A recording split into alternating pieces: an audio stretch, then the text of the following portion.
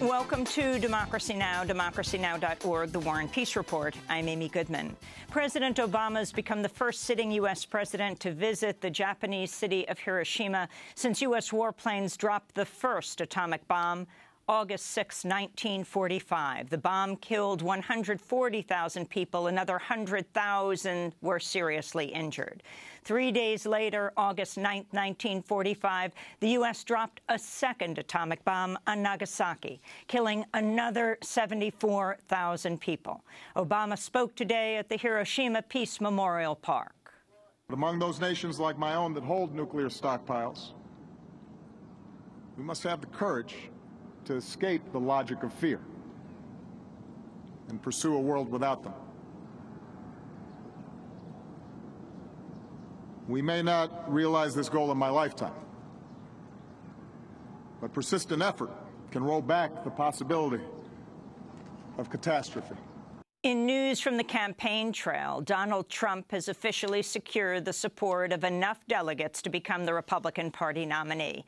Trump is now supported by 1,238 delegates, one delegate above the threshold required to clinch the nomination. He won't become the party's official nominee until the Republican National Convention in July. This comes as Trump spoke in North Dakota Thursday, where he pledged to push through the construction of the controversial Keystone XL pipeline. He also vowed to roll back the Paris Climate Accord. We're going to cancel the Paris Climate Agreement and stop. Unbelievable.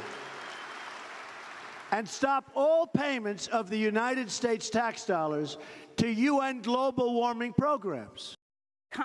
The sister of Vince Foster, the White House aide to President Bill Clinton, who died in 1993, has written a scathing criticism of Donald Trump after Trump revived conspiracy theories about Foster's death earlier this week. Vince Foster committed suicide in 1993 after a struggle with depression. Yet his death was the subject of multiple right-wing conspiracies at the time, blaming Hillary Clinton for Foster's death. Trump revived these theories in an interview with the Washington Post earlier this week, calling Foster's death, quote, very fishy. In an op-ed published by The Washington Post Thursday, Sheila Foster Anthony called Trump's comments, quote, beyond contempt, writing, this is scurrilous enough coming from right-wing political operatives. How could this be coming from the presumptive Republican nominee for president, she wrote. This comes as the Trump campaign mistakenly copied a Politico reporter on an email to a Republican National Committee researcher asking him to, quote, work up information on HRC Whitewater as soon as possible, end quote. Whitewater refers to the scandal involving the Clintons' real estate investments during the late 1970s. A Trump campaign spokeswoman mistakenly copied Politico reporter Marc Caputo, not Trump campaign advisor Michael Caputo, on the email. Meanwhile, Democrats are considering pressuring Democratic National Committee chairwoman Debbie Wasserman Schultz to step down ahead of the national convention in July. Democratic presidential candidate Bernie Sanders has long accused Wasserman of being biased towards Hillary Clinton. This comes as she is in the tight race against progressive challenger Tim Canova for her own congressional seat in Florida. In an unusual move, Sanders has backed Canova. Two members of the Senate Intelligence Committee are warning that a new bill would expand the FBI's ability to access Americans' online records without a warrant. Oregon Senator Ron Wyden and New Mexico Senator Martin Heinrich say the 2017 Intelligence Authorization Bill could allow the FBI to access email, chat, and messaging records, as well as browser histories. On Thursday, Senator Heinrich called the bill a, quote, massive expansion of government surveillance that lacks independent oversight. In Brazil, the interim government has announced plans to abandon the current limits on foreign land ownership, clearing the way for land grabs by multinational corporations. The interim government took power earlier this month after the legislature voted to suspend President Dilma Rousseff and begin impeachment proceedings against her, a move that a growing number of residents and Latin American countries are calling a coup. This comes as Brazil's powerful landless workers movement, known as MST, has promised to launch a new wave of land occupations. Brazil already has vastly unequal land ownership, with 1% of the population owning nearly half of all the land. In Israel, the environmental minister has resigned over the appointment of right-wing, ultra-nationalist politician Avigdor Liberman as defense minister. Environment Minister Avi Gabbay announced his resignation. I was unable to swallow the frog that landed this week, a year after I was appointed. The sacking of General Moshe Bogi Yalon and appointment of Avigdor Liberman as defense minister. This is, in my eyes, an extraordinary move, even for the cynical world of politics. Avigdor Liberman is considered to be one of the most hawkish politicians in Israel. A new report by the World Health Organization has found nearly a thousand people have been killed in attacks on hospitals and other health care facilities or workers over the last two years. Most strikingly, the report found more than 60 percent of these attacks were deliberate. The greatest number of attacks on hospitals and health providers were in Syria, where recent bombings of Doctors Without Borders-supported hospitals have sparked international protests. This comes as the United Nations is warning of the risk of starvation in government-besieged areas if the delivery of humanitarian aid continues to be blocked by the Assad regime. The United States, Russia and other countries have said they will begin airdropping aid by June 1st if the sieges are not lifted.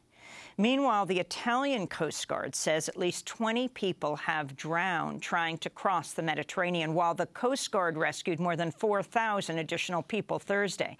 This comes as Greek officials have bulldozed the Idomeni refugee camp on the border near Macedonia.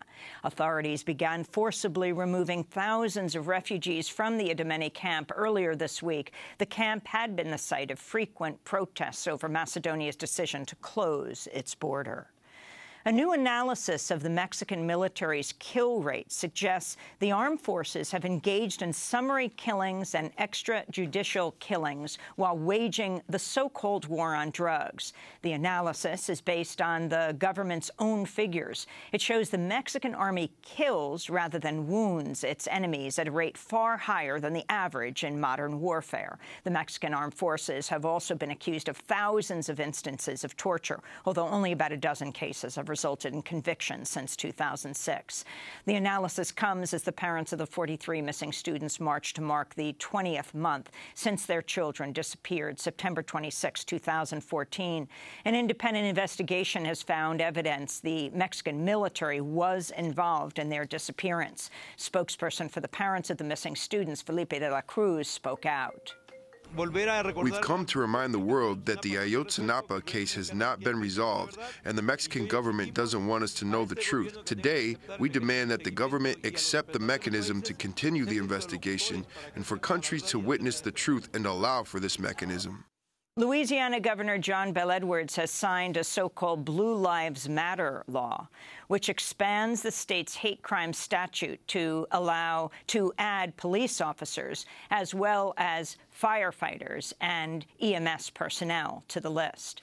The new law is the first of its kind in the country. Its signing sparked outrage by civil rights groups. Louisiana NAACP President Ernest Johnson said, quote, hate crimes law is based upon a history of discrimination against certain groups of people, and a bill like this just tries to water down that reality because there is not a history of discrimination against police and firefighters, he said. In New York, a new lawsuit accuses the New York Police Department of intentionally profiling and harassing people who live on the streets.